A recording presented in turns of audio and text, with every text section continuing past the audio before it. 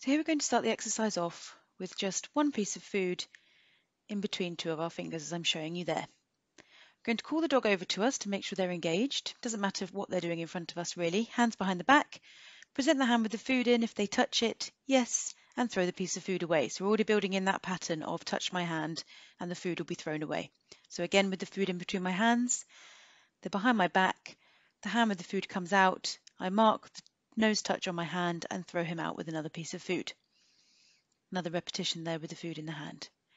Fabulous. So I'm not pushing my hand towards his, he's coming into mine and he's really enjoying having the food thrown out and then coming back in to do more of the hand touch. There's no cue on there at the moment. I've just got the piece of food in between my hand. He's coming to touch it, and now I'm going to do it without the lure. So I'm going to put my hands behind my back, and yes, he touched it without any food. So I can mark and reward the nose touch. So no food in hands, hand out, he touches, yes, and my reward comes from my pocket, thrown out to the floor. he comes in again, nose touch, and the treat's thrown out to the floor. Now, when you get a nice behavioural flow of this pattern of the dog finding the food, coming back and touching the hand, you can mix it up a little bit. So there I held my hand a little higher, a little lower. Just keep the game going. You can see he's having a wonderful time. No pressure, just pop your nose on my hand.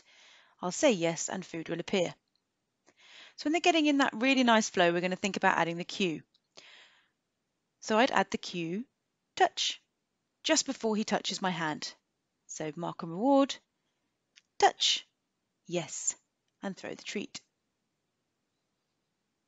Hand out, touch, yes, and throw the treat. Now we're going to turn it into a bit of a recall game.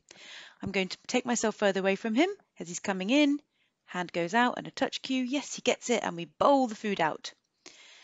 Now, they might not be able to find the food every single time, depending on the grass that you're on and the treats that you're using, but try and use nice visible treats so they can pick it up easily and swing right back to you to do the hand touch once again.